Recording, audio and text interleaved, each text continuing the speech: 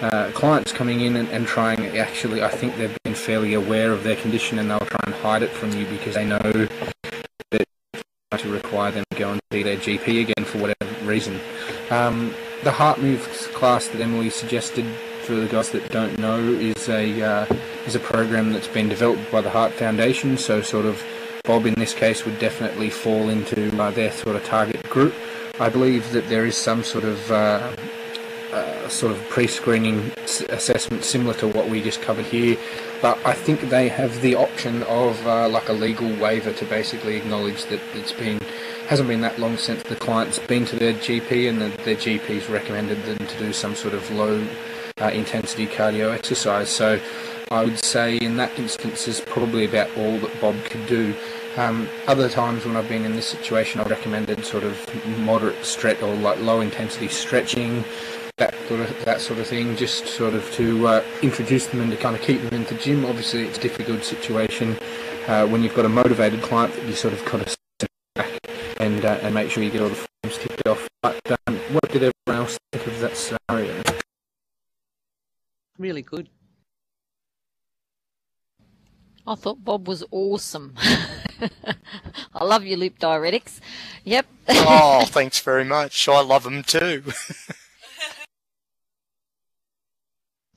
What's really interesting, Craig, is the number of patients who come into hospital and say, No, I don't have a blood pressure problem. And you go through their medications and they're on any antihypertensives. It's the same sort of scenario. No, I'm fine, but they're only fine because of their drugs. Yeah, and that's exactly sort of what I wanted to make, uh, I guess, aware of, of to the students uh, by doing this scenario.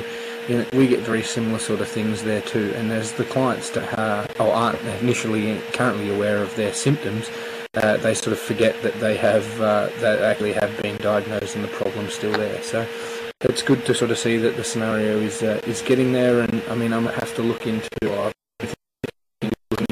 sort of scripting the the client a little bit more, um, and that way it sort of we can direct uh, where we want the student to go with the situation. But um, I think it worked really well.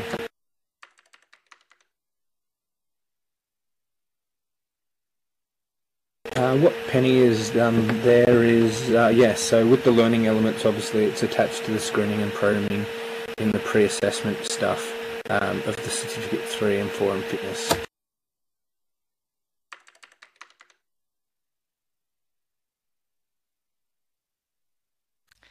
I suppose the only uh, comment I'd make is that um, for the instructor, especially in this sort of a scenario, it, to have a actual filled in um, medical form um, would probably have given us more of a, of a working idea. And um, I fully know how busy Craig's been with um, uni stuff, so no jab there, Craig, but um, that's probably something we'll just need to add on to with the scenario.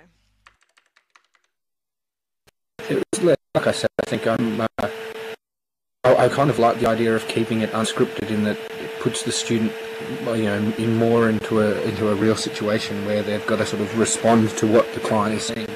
Um, but it, it, I do like the fact that with scripted scenarios or, or semi-scripted scenarios, you, we can sort of lead students to outcomes that we want, and it sort of flows and, and it achieves it a little bit easier. I, I think it's a good scenario as well because it's actually quite a positive scenario, and as in, it, it's not one of those ones where somebody's angry or upset. It's in fact somebody that's super keen to do something, and you've actually got to calm them down, which is sort of a different sort of skill set to what normally you work on. So yeah, no, I think it's kind of cool.